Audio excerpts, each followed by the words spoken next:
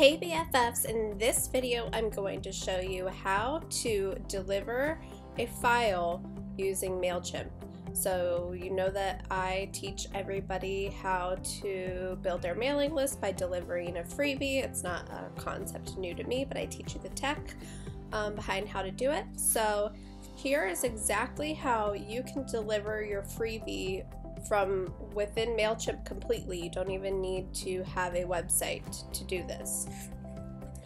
So first you're going to log into MailChimp. If you don't already have an account, you'll create one.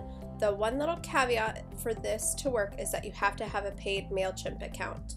I am working on a client's um, MailChimp account right now, so we'll just pop over into her account and make sure that she's got the monthly plan set up. We could also um, check out her plan and she could change to pay as you go if you if she wanted to so she could buy 300 credits for nine bucks but she's doing the $10 a month um, plan to get the MailChimp automation which is totally perfect for what we need so she's already gone through all of the steps to create her automation workflow but I'll just walk you through those really quickly so you can see that so what that means is that when someone subscribes to our list, MailChimp's going to automatically send them a series of emails.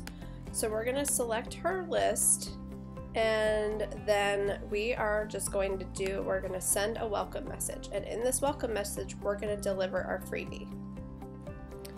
So now that we selected that, we fill out all of the um, all of the required fields.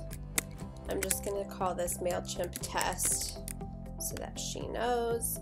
Um, all of the other fields, we're not going to go through these. I go into those more in my MailChimp's, MailChimp Tips, Tricks, and Hacks Masterclass, um, which I'll give you more information about. We want to trigger this workflow when people subscribe to her list, so that step's fine.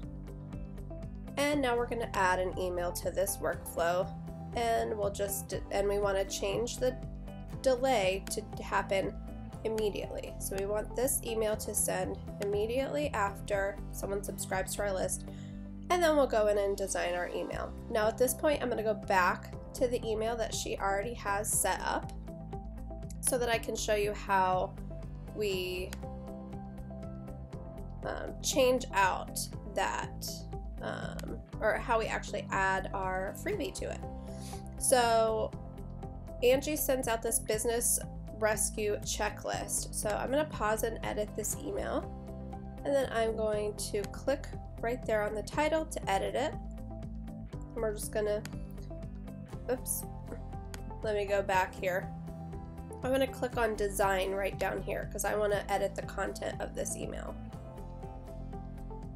And so she sends out a set of three to-do list printables to get you organized in 2016 and she's dragged a button over to her um, over to her excuse me her email so that when you click on the button the PDF downloads so she, we, she changed it to get it now. She linked it to a file. That's the trick here. Instead of linking it to a web address she linked it to a file. So we click on file and we're going to upload by clicking over here her freebie PDF that she created.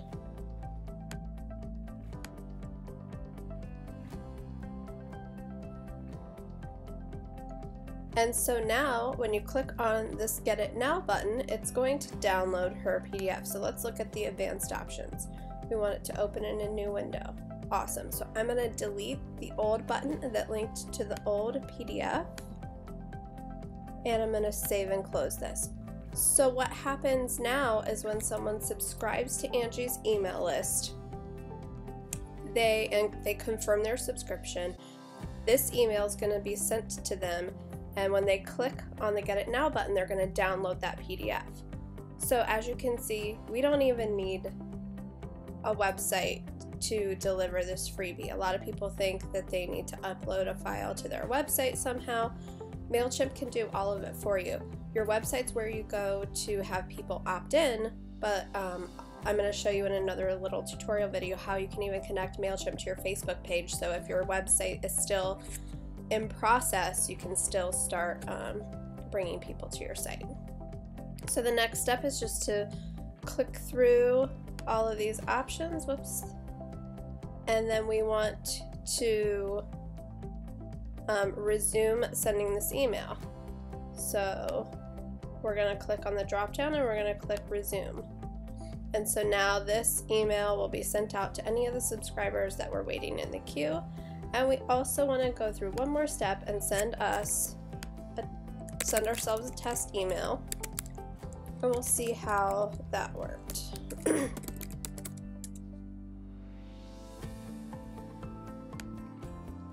so let's go to my airmail and my inbox. there it is. And let's see if I got my three pack of printables. And there it is. So that's all set. That's how you add your freebie to your email to deliver it to the people that signed up for your project.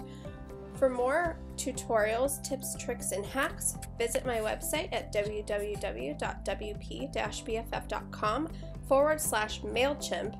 That's where you can purchase my MailChimp, MailChimp tips, tricks, and hacks video where I dive super deep into everything about MailChimp so that you can um, use it to find more people that um, more of your ideal customer, how you can use it to automate all of your boring email tasks, and how it can just do so much to help you with your business. So that's